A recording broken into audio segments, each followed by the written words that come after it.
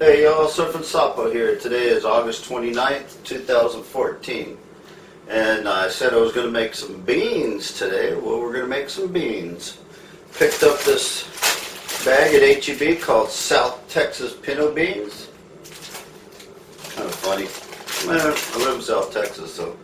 Anyway, it's South Texas, it's made by Fiesta, the same one who makes uh, Uncle Chris's Frijol Pinto. South Texas pinto beans. And it has a package of spice in there.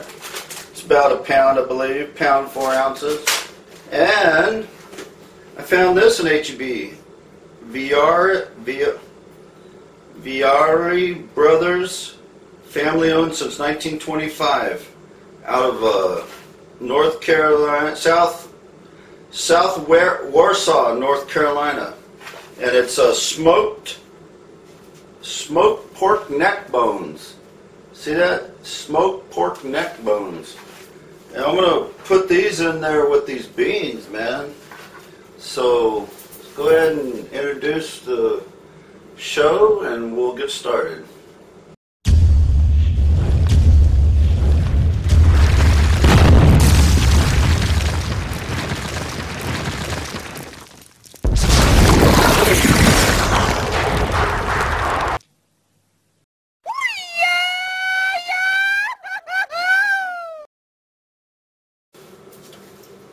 Okay, this is the bag it comes on. It's a real nice bag.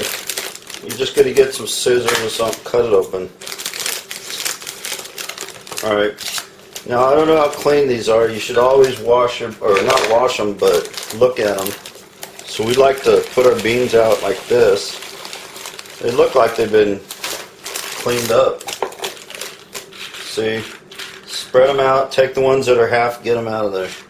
Look for rocks. Okay, that looks good. So over here, we have a bean pot. Got that at Home Goods. It's a La Croissant. I'm going to take this batch of beans, let them go in. And we just keep doing that process. Then I'll tell you how we do this, okay? Sapo tech tip. Never ever put your beans straight from the bag into the water in the pot. Simple reason, there's rocks, dirt clods, all kinds of junk in there. Always lay them out on a cutting board or something and sort through them. Throw the half beans out and uh, any rubbish that you find in there. This was fairly clean, but I still checked it and came up with a handful of uh, rubbish. So what you do now, this is how I do beans. You put them in there, you bring this to a boil. As soon as it hits a boil, you shut it off. Don't touch it. Let it cool down. When it when it cools down to, to warm, almost touchable, dump the water, add new water, bring it up to a boil, they'll be done in less than an hour. So we'll be back after they start to boil. Once it hits a boil like this right here, just shut it off. Shut it off and let it sit there. And if you don't have a bean pot, Try to get one. They're wonderful. Way better than cooking beans in metal pots. Here's the lid. I got this thing for like, uh, I think like 20 something dollars this, and it, it's worth, I don't know, 100 something. Probably overpriced, but it's a good brand, this Le Croissant. Croissant, I don't know how to say it. All I know it's, I wouldn't buy it brand new, I got it at Home Goods know how. There it is. So we'll let this cool off, then we'll dump the water and add some fresh water. Then, then it's going to take one hour after that. Guaranteed. Cooled off enough to touch. Let me show you. I'm going to dump the water in here. I want to show you what color it is. The, the first boil. Look at that. It's like dirty, uh, pretty nasty water.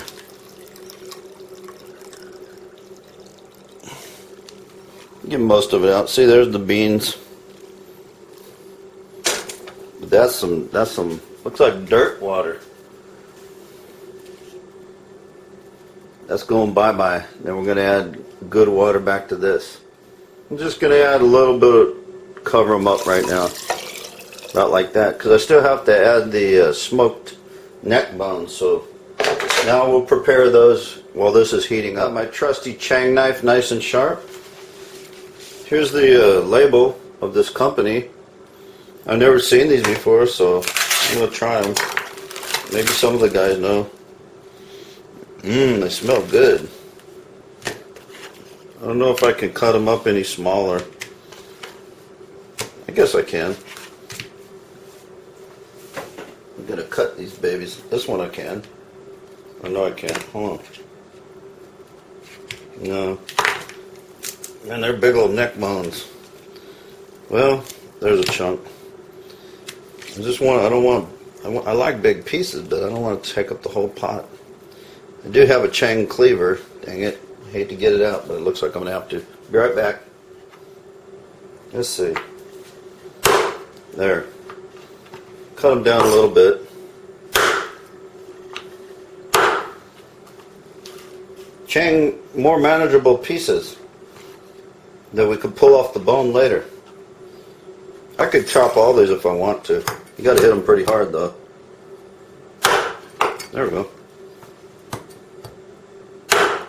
Whoop! On the ground. Anyway, y'all get the point. I'm cutting them up. Okay, let's drop these babies in there. I'm putting them all in. I don't want to. I don't want to keep any of this. I think I'm going to put them all in. We'll find out. Yeah, I guess they'll fit. They won't. We always wish they did. There we go. Turn it back on high. We're going to get it on with some beans, man.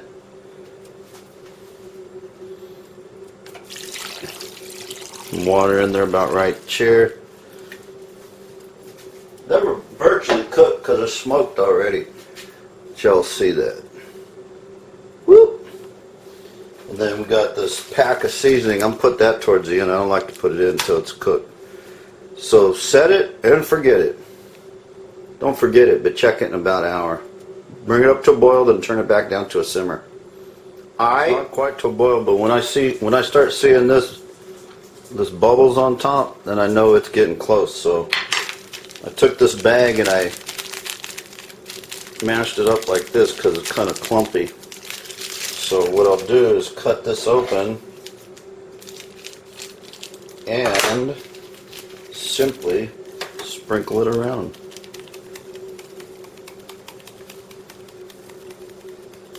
Put it all, don't be shy. Previously calculated, they know what they're doing. They've been selling this stuff for years. And just put it down in there. See, it's fixing to come up. I gotta lower it. Fixing them. Once this clay gets hot, boy, it's hard to cool off, so you gotta be real careful not to get a raging boil. When I got a heat deflector at the bottom, by the way, if you uh, buy one of these, get a heat deflector, and um, it'll save the pot, believe me. There you go, it's all worked into the beans now. So we're going to let these go for an hour, and I'll check back with you good folks then. Here's a Sapo tech tip. If it's boiling, pull the lid off and angle it as such. Put it on there, it's going to build up too much steam. Angle it like that. Let some of the steam out. This isn't a crazy boil, but it's a boil. And never stir your beans. Just move them around like this. Don't stir them, you'll break them. Just kind of move them. Just move them around. Like that. I'll get some out so you can see how they're starting to look. Cook fast this method. See? They're already getting there. They'll be ready in a few more minutes. Put it on at an angle, remember. Vent the steam out. Alrighty, folks. We got the beans done now. Took about an hour. Let's get something to scoop them up with. Put some in this bowl. Get some neck bones off the top first. Couple neck bones there, chunks. Look at the beauty of these. Look how beautiful these beans are. Can you see that? These are beautiful beans. perfectly perfect size. Get some juice. A little bit more neck bones. Gonna make this worth worth our while, folks. There we go. Let's start off with that right there. Let me let this cool off and then we'll do a taste test. Sure smells good, I tell you. Okay, they're still hot, but warm enough to eat yet. Let's just get some of these beans right off the bat. Look at that, folks. Pretty. If you like beans.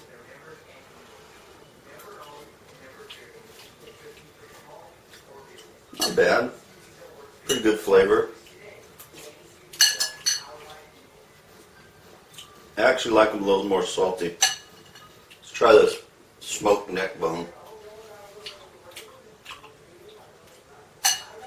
Tastes like a ham hock, pretty much.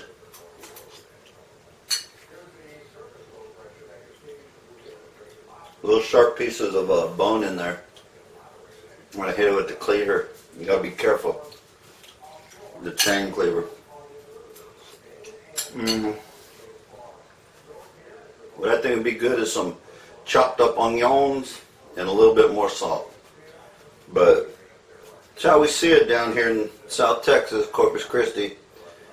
We've got some beans now, so be eating these tonight for dinner, or supper, I mean, and then uh, as a side dish throughout the weekend, the holiday weekend. So thanks for watching. Um, like, comment, what else? Subscribe, and uh, I'll get back to y'all. All right? All right, God bless you. Goodbye.